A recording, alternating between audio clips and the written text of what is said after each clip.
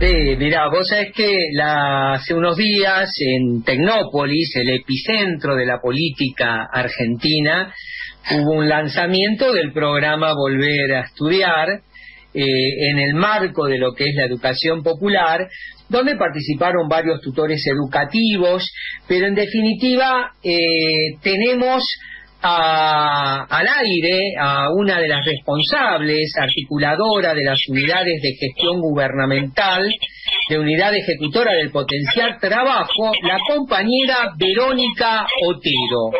Hola, Vero. Hola, Claudio. Buenas tardes. ¿Cómo estás? ¿Cómo, cómo estás, Vero? Un, un lujo tenerte acá en nuestro programa y este y bueno nos gustaría que nos comentes un poco eh, yo tuve la suerte de poder participar y tener una participación activa que nos puedas comentar de qué trata este programa tan tan importante no en el marco de lo que es la educación popular volver a estudiar.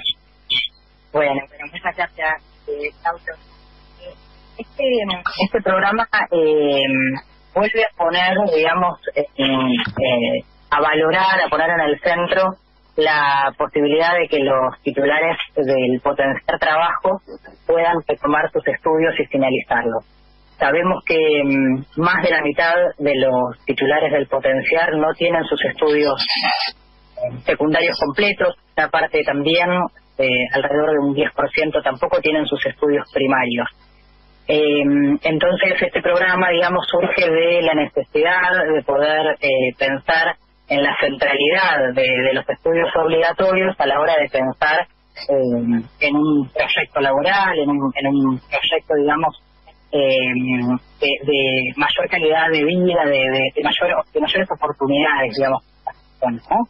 Además de eh, que la educación es, un derecho, digamos, entonces para, para estas personas el poder terminar sus estudios no fue un derecho que se pudo garantizar en su debido momento y entonces la idea es ahora desde el Estado este, articular esfuerzos. Este es un programa que se lleva adelante desde el Ministerio de Desarrollo Social en articulación con el Ministerio de Educación de la Nación y con las jurisdicciones, digamos, donde se, se pone en práctica en esta primera etapa y entonces priorizar, digamos, el, el también poder eh, garantizar el derecho a la educación para quienes aún no pudieron eh, ese, ese título, ¿no? Este, que, que es necesario y en particular hay un rol que tienen eh, los tutores educativos que también son beneficiarios del potenciar trabajo. ¿Podés contarnos en qué consiste ese rol? Sí, sí, lo que mm, partimos de la idea de que no se trata solo de, inscribirse a una propuesta educativa, sino que este, muchas veces la dificultad está en sostener la participación. Entonces, la figura del tutor, que como vos bien decís, es también un titular del potencial, es decir, un compañero, una compañera de, esas personas que necesitan terminar sus estudios, eh, digamos, el rol de ese tutor es convocarlo, convencerlo, incentivarlo para que tome sus estudios. Muchos de los tutores también este, vienen a terminar em, recientemente sus estudios secundarios, este, entonces saben, digamos, de, de qué se trata, pueden convencerlos y animarlos a hacerlo. Y sobre todo también después de esta este, inscripción, digamos, en alguna oferta educativa, la idea del tutor es poder acompañarlo en su trayectoria, ¿no? Poder estar ahí, poder este, estar atento a las necesidades que se hacen planteando, no dejar que eh, bajen los brazos, ¿no? De, poder articular con el sistema educativo, con, este, las personas que hagan falta para que esas personas encuentren las mejores posibilidades y no tengan un nuevo abandono del, del, del estudio, ¿no?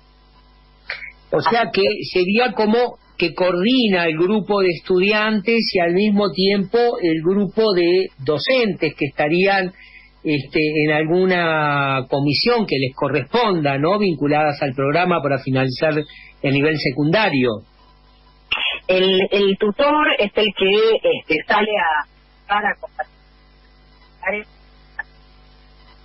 Una vez que este, se contactó, digamos, lo que hace es aplicar un cuestionario generado por el área este, que está mm, gestionando este programa, ¿no? que está vinculada al área de terminalidad educativa de la Secretaría de Economía Social, y el relevamiento de, estos funcionarios permite ir pensando el mejor lugar para que cada uno de esos titulares estudie, ¿no? Por ahí tiene que terminar la primaria, o tiene que alfabetizarse, o tiene que hacer materias en el secundario, o tiene que hacer todo el secundario,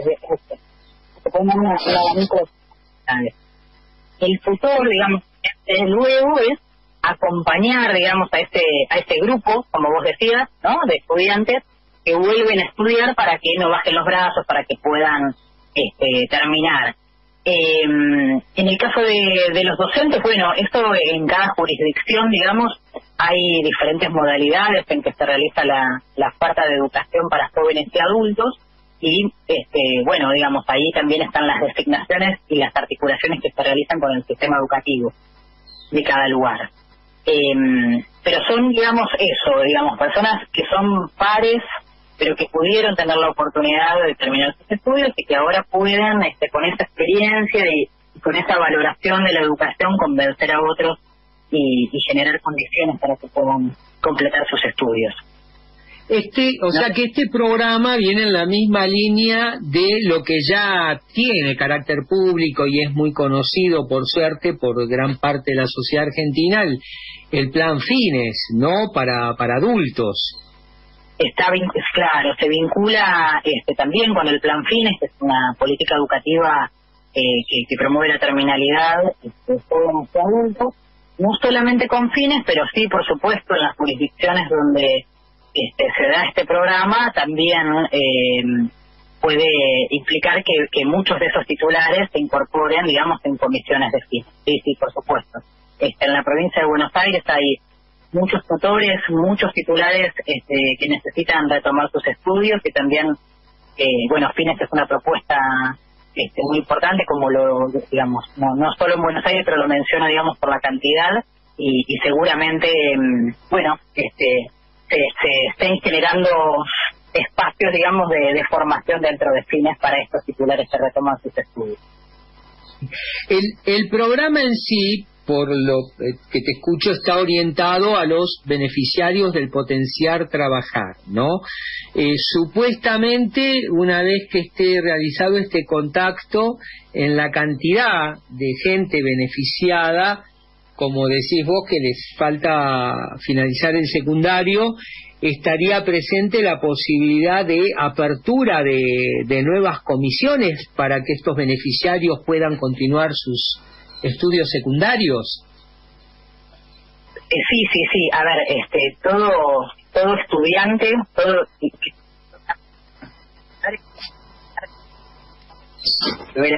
la manera, digamos, en que se, realiza este derecho puede variar de acuerdo a, a la provincia. Como no, no lo mencioné, Claudio, pero este, por ahí yo no, yo no bien decirlo que este es un programa que, bueno, está en su primera etapa, ¿no?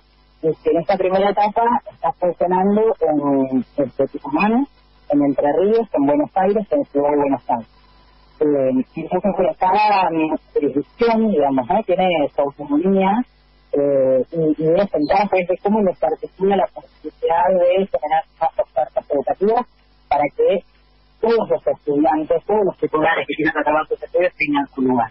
También si es a través de, de comisiones este, del plan Fines, que este, hay que ir formando, digamos, a medida que se estudios, están su documentación, y, y, vamos tratando las condiciones para que puedan eh, empezar a funcionar.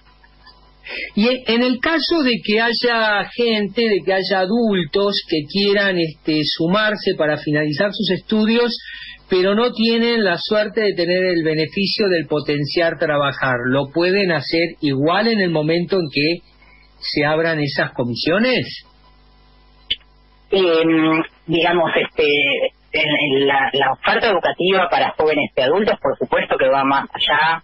Este, por ahí no, no, me toca este, este rol en este programa, pero digamos, en, digamos, las políticas educativas acompañan, promueven y, y, se dedican justamente a que jóvenes y adultos que no pudieron terminar sus estudios tengan la oportunidad de hacerlo. Así que por supuesto que todos los, que quieran hacerlo van a estar muy bienvenidos. Ahí yo recomiendo acercarse ¿no? a, a las autoridades de, cada distrito, si define hasta los, al, equipo de coordinación, eh, y poder averiguar, digamos, qué opciones encuentran en cada territorio donde puedan incluirse.